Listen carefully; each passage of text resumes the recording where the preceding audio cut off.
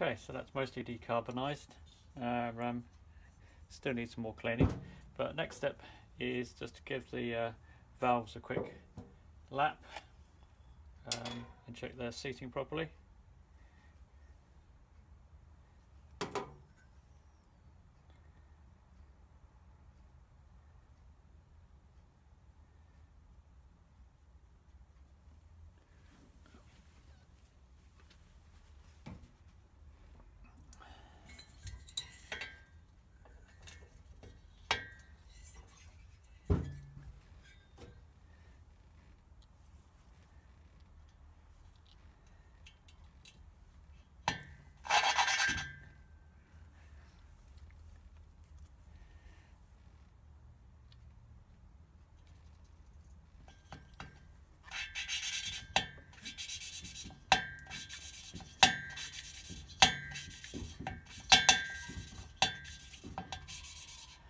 Okay, so coarse at the moment, um, inlet valve, which has also been cleaned uh, or decarbonised, same. Um, and then when I'm happy with that, a quick clean up, and then with the uh, fine uh, powder, paste I should say,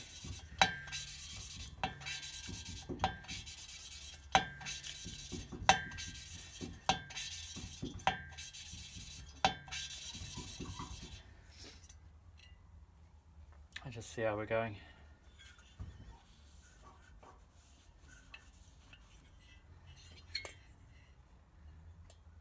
It's not looking too bad.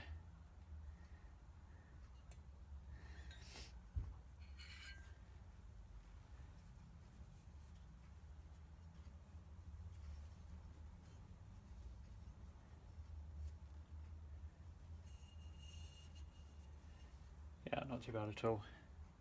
Okay, so on with this. Catch you guys later. Okay, with the valves uh, lapped, now it's time to turn our attention to the uh, actual cylinder head joint itself. Now, uh, if you don't have the special tool, um, you can use uh, an old cylinder barrel with the uh, uh, fins smashed off it so that it can fit past the tubes here for the push rods. Um, but it's the same process. Um, if you can get leaks through here uh, um, if, if this isn't lapped in. So uh, as I say it's the same it's the same process.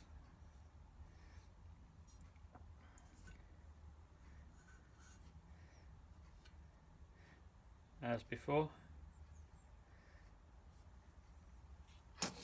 only on a slightly larger scale.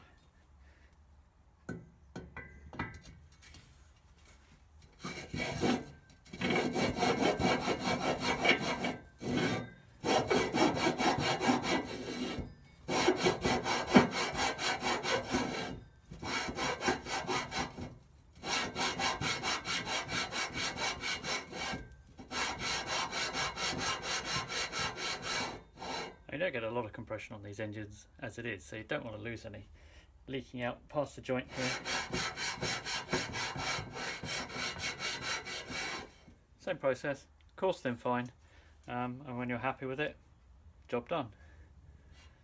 And if you haven't got this uh, tool, then uh, your local Citroen Owners Club will have it, and if you join them, you'll be able to borrow it. One thing I would say, of course, when you're lapping the valves, you're lapping a steel valve into a steel valve seat. Here, you're lapping into the alloy head itself, so it doesn't take as much. But easy enough, but job needs to be doing. Right, one final task before I do the final clean, uh, before reassembly, is just to knock off this uh, lip of alloy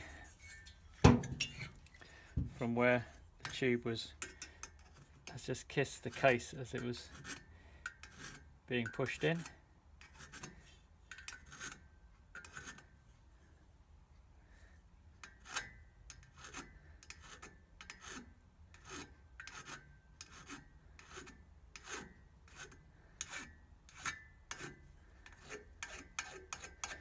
This happens all the time with these engines. There are people who not really experienced in putting them back together. Miss it. So make sure you don't make that mistake. So easy to do it really is. There we go. Otherwise it's a really good pair of tubes. Okay. Time for its final cleanup and uh, then back together okay so cylinder head has been cleaned at least to the best of my ability um, of bead blasting would have brought it up a little bit better, but um, as I say, it's been cleaned as well as I can. Um, so now ready to see if we can put it back together. Now, inlet's this side, obviously with a bigger valve. Um, check I know which one is which. So inlet there. That moves okay. The valve guide.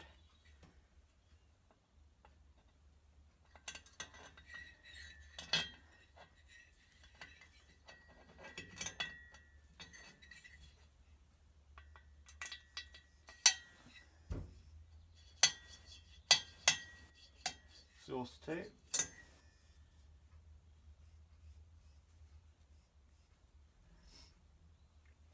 So by myself inlet exhaust. Now, new valve guides. In the uh, standard rebuild pack of gaskets that you can get for the 2CV, um, it comes with ones more like that were on here when I bought, uh, came with this engine, so how it was previously running. Um, ECAS doesn't recommend them, so they recommend the Burton ones instead. So um, probably not really obvious on the camera um, but they are a bit better made so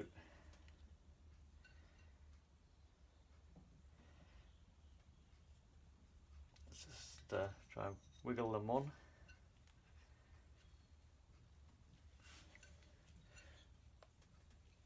not tried these valve guides on before so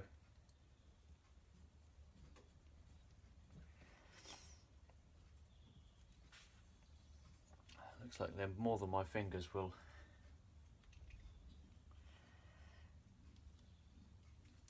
do. So, what is this? 11 mil uh, 16 point socket, which just fits over there. But the idea, as far as I understand it from uh, those who rebuild this sort of stuff, is that uh, you want to get it seated on there first before you start hammering it into place. Um, so it's on the square and not hammering it in at an angle because then you just need to pull a valve guide off and buy a new one.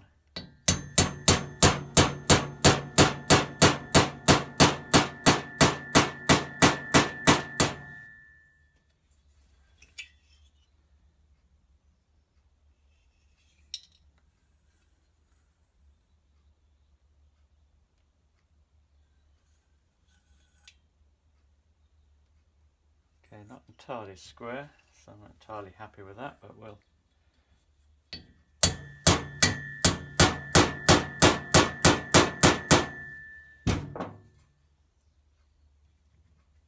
obviously caught the edge of the guide a little bit.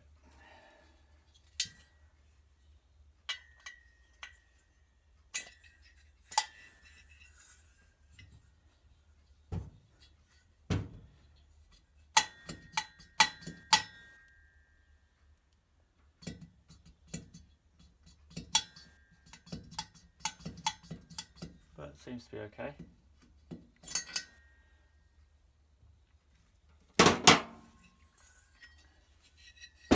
See if we can do a bit better on the exhaust side.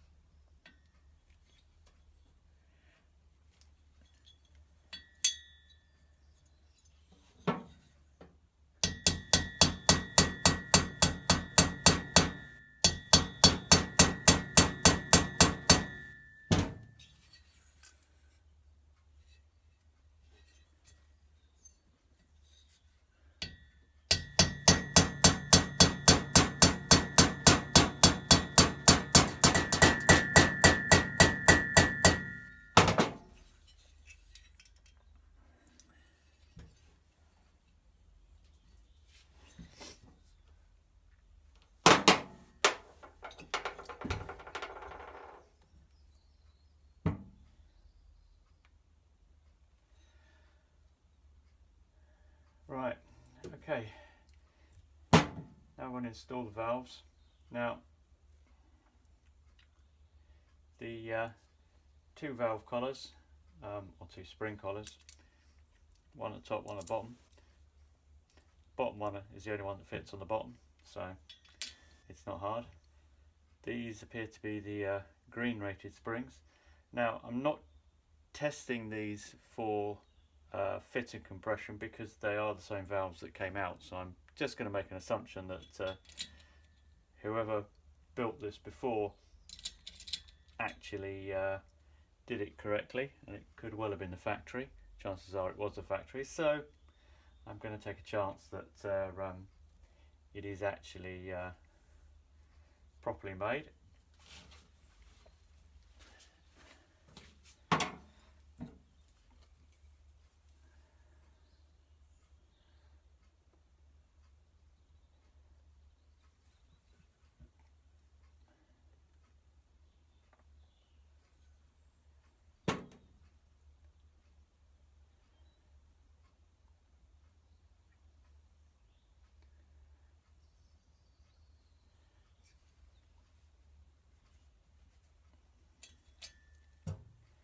So just some lube on the uh, valve stem so that uh, as I don't know how long it's going to be before I run this engine for a start. Oops. Yeah, always good to put those on afterwards.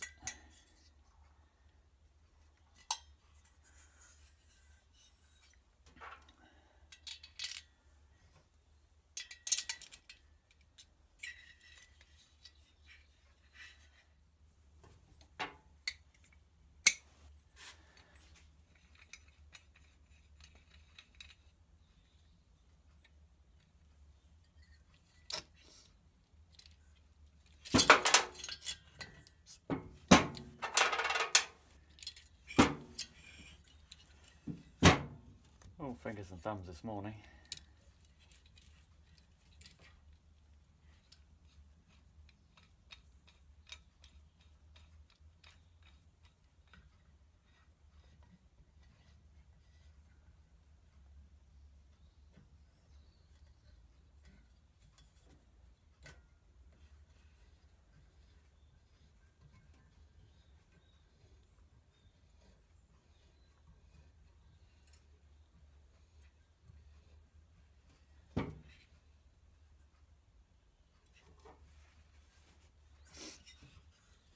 Alright.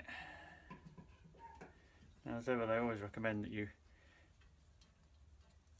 don't have this pointing towards you when you do it just in case these uh, valve collets do let go which uh, is a distinct possibility.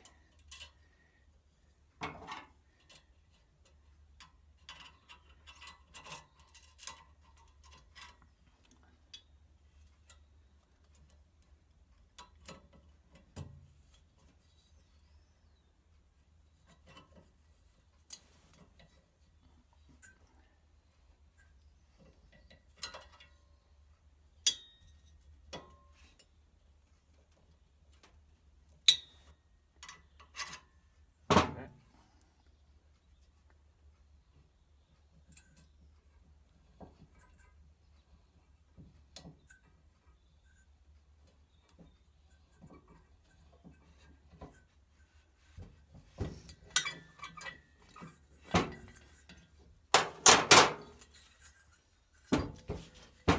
Uh, again, not pointing towards you in an ideal world.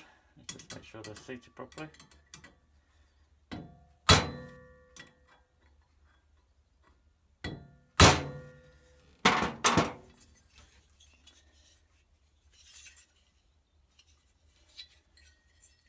Okay. Same for the uh, exhaust. So cleanliness, oh, cleanliness is everything with these. I mean, you can rebuild an engine, you know, for a quick thing while it's on the car and it's still covered in oil and shit and everything else. But um, why would you, really? And certainly if you've uh, if you've uh, cleaned and lapped things like uh, the exhaust ports and uh, this, so you've got grinding paste. The last thing you ever want is that going to be sitting in your engine.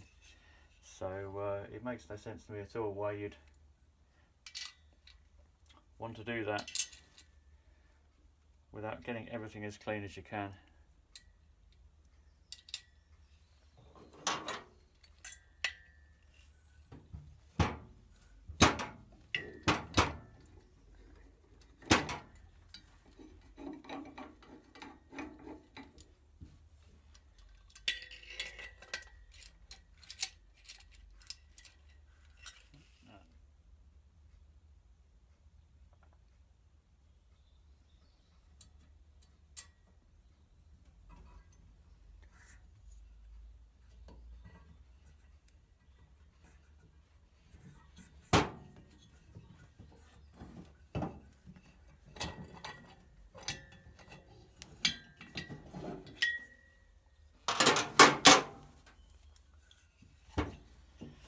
And again, just make sure these are seated. Try not to be uh, having my face in the way.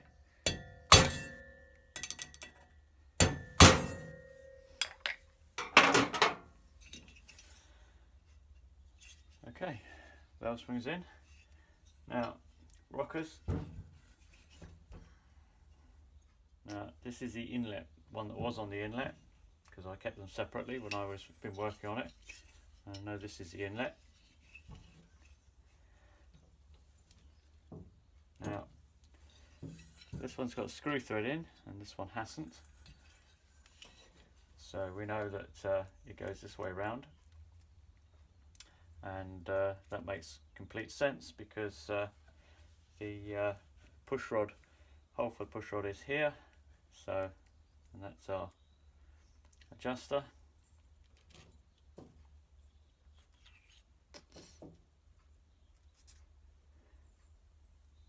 These seem okay, they don't seem overly worn.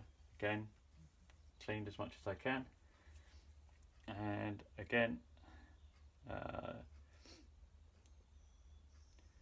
just some lube. Don't be expecting this to have to be nicely lubed up um, until the engine's been running for quite a while.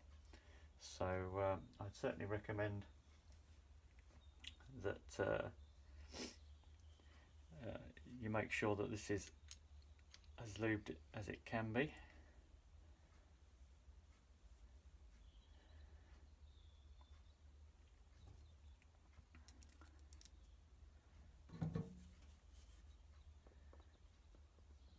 Just for good measure.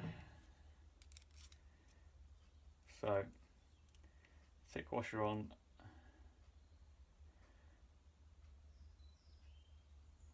the actual valve end wavy washer. Well, that's how they were assembled from the factory anyway. Stamped washer. Let's go rounded end out uh, this way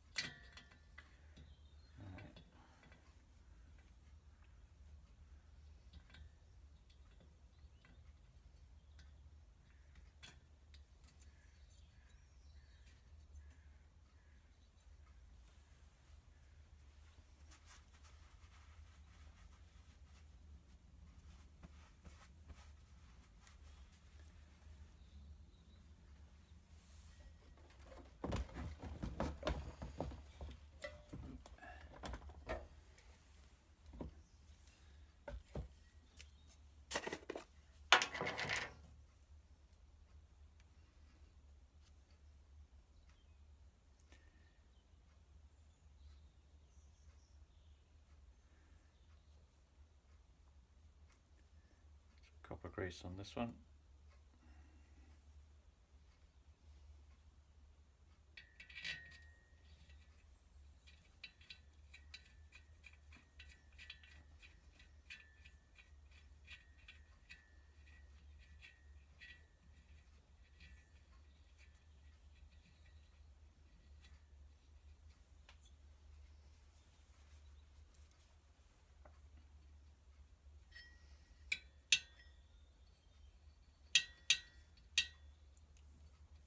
Talk that up in a minute. So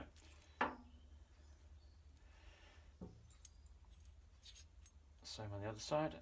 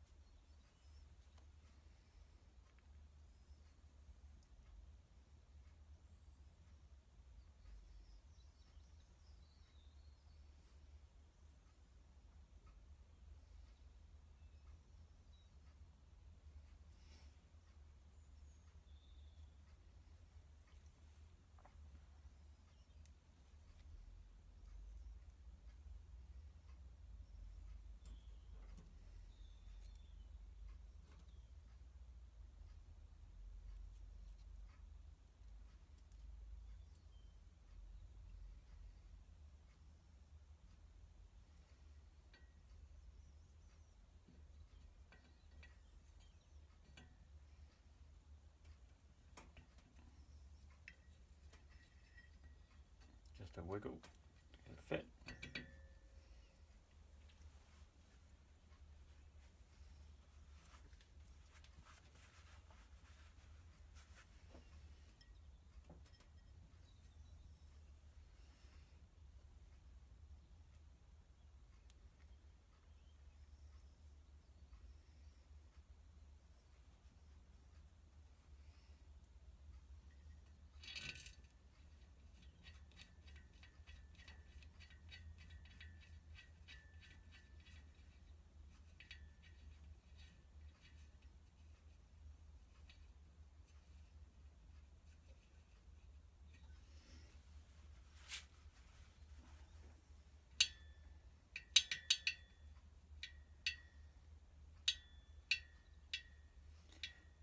and uh, you see just the small holes here, one here and here, are all that allows lubrication into these. So really important to get it lubed up properly.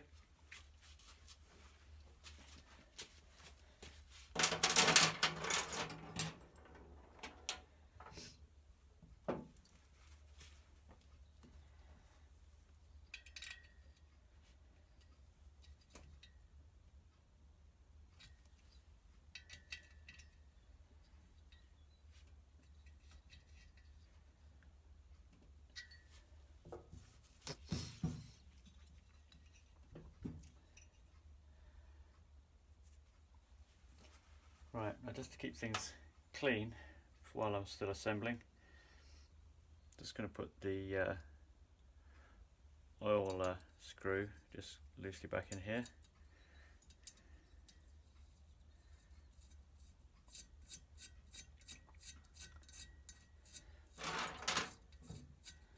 Now I'm going to put back also the, uh, but again just loosely, just the uh,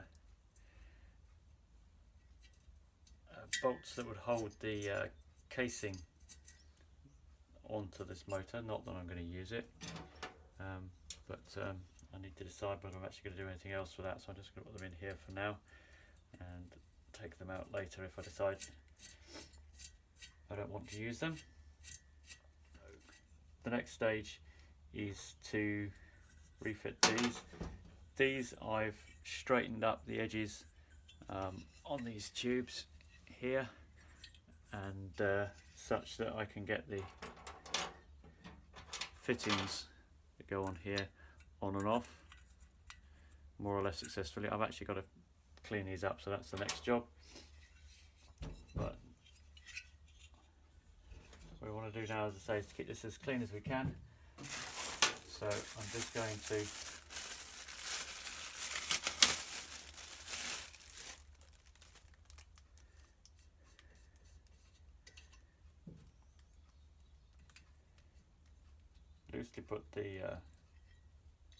covers on.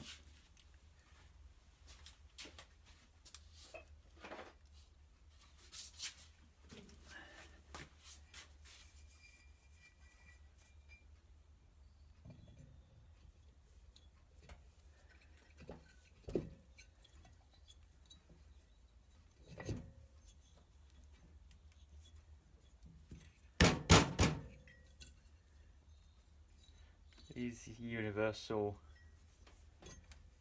fit replaceable seals here. Seem a bit of a loose fit to me. I've not used them before. I've got the standard ones in the gasket pack. But these are supposed to be re reusable. Don't need to stick them in place. Well we'll see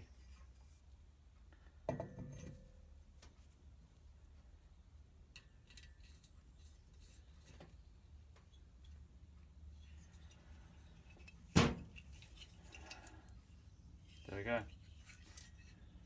One almost fully rebuilt cylinder head. So now let's uh, get these done.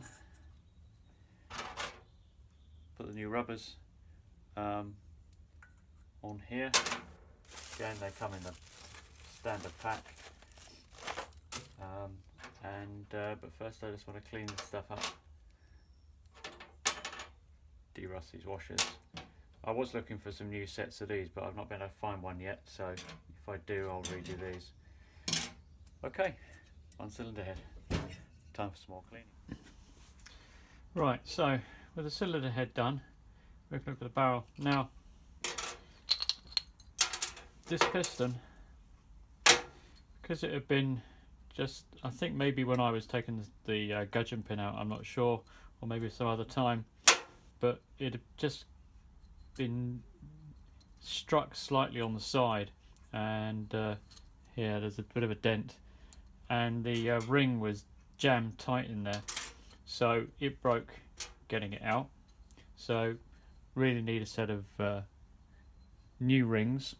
Um, these are eight and a half uh, compression uh, cylinders. Or pistons I should say barrels in very good nick um, no issues with those at all um, I'm not entirely happy with these gudgeon pins. I can feel a bit of wear there, so I think new ones. Problem with this is that when I came to look at it, to buy a set of piston rings and gudgeon pins for not much more money, I could buy a complete set. Um, and in uh, slightly higher compression, which is 9. Um, classic parts industry, they're based in the Netherlands, they make Citroen parts. Um, so, what have we got? Well,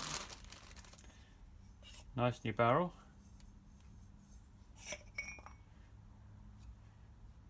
And there's supposed to be a high compression piston and that barrel has been honed.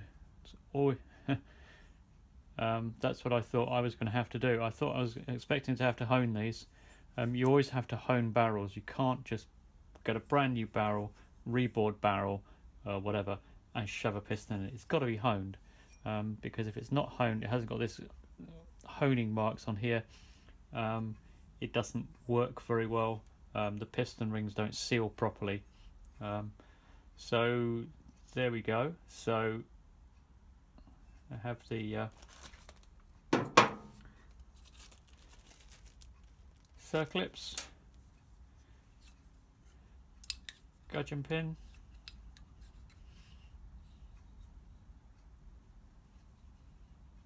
yeah, maybe a little bit tight, but okay, not too bad.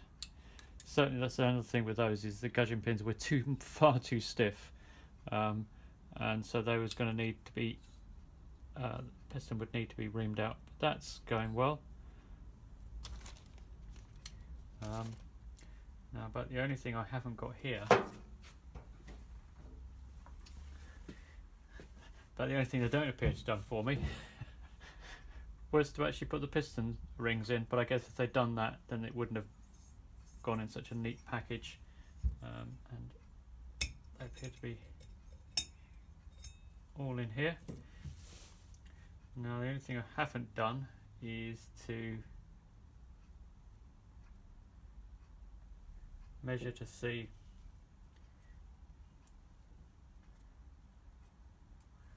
uh, what the piston ring gaps are. Now, okay, so on those ones, your scraper ring is a single composite thing, or it's been stuck together, one or the other. I'm not quite sure which. And I need to figure out which of these is the top ring and which way up it goes.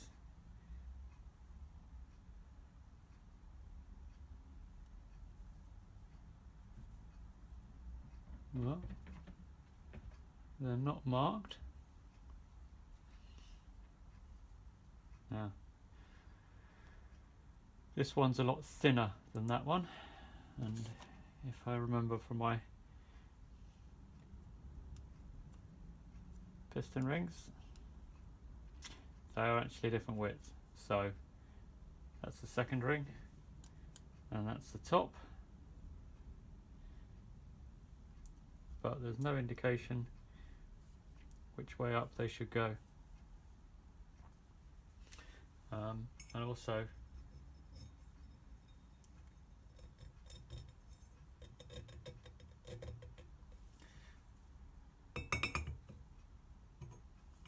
question is what's the piston ring gap right let me get my the manual and feeler gauges and just double check um, what gaps we have here. Okay, so it turns out that I don't have any uh, feeler gauges. don't know what's happened to them, so uh, I'm just going to have to assume that these are actually correct and uh, take it from there. So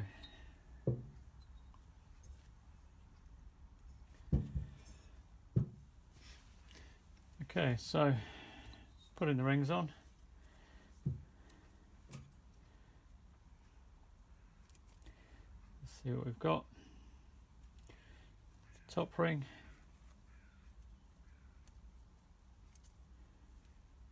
Grey cast iron middle ring.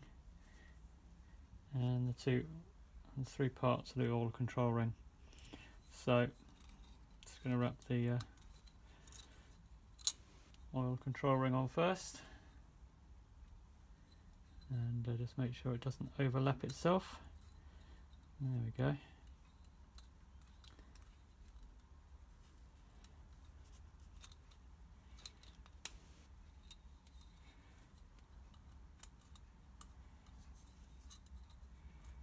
So just roll that one on there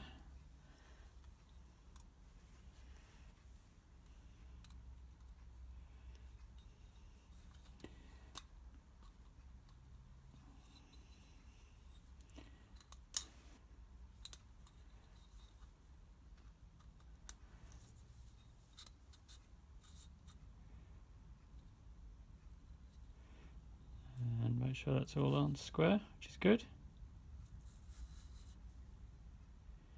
Really difficult to see where the actual control ring stops, so I'm just going to offset those two there. Right, so this is the top ring. double check that.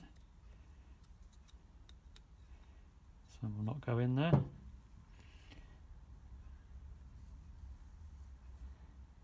There are no markings and the profile appears identical so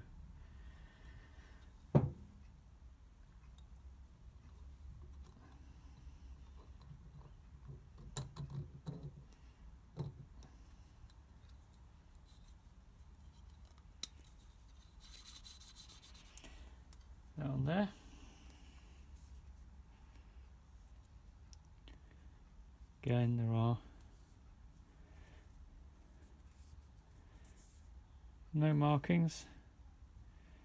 And the profile appears the same so.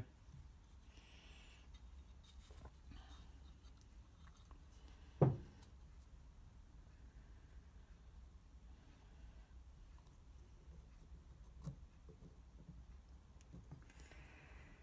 is a much uh, stronger ring. Just onto there. Just push on the back. There we go. So we have one gap there, one gap there, one gap there, and one gap there.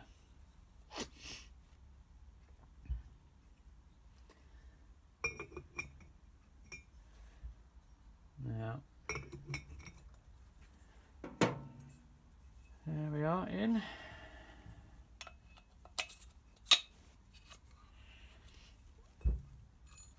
So, now, pistons are marked for front so we need to make sure that uh, um, we install them on the engine the right way around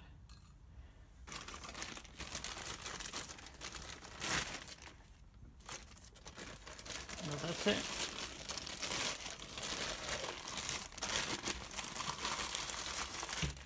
Simple as that.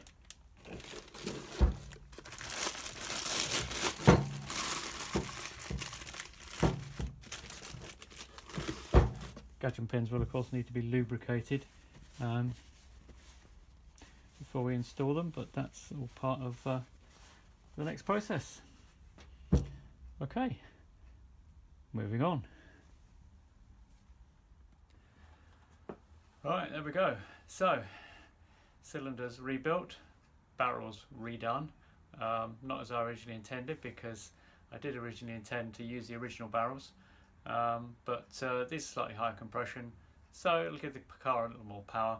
And as I say there was actually very little difference in buying the complete pistons, barrels, uh, piston rings, new gudgeon things as a kit than it would have cost me um, just to buy the rings and the gudgeon pins which is ridiculous.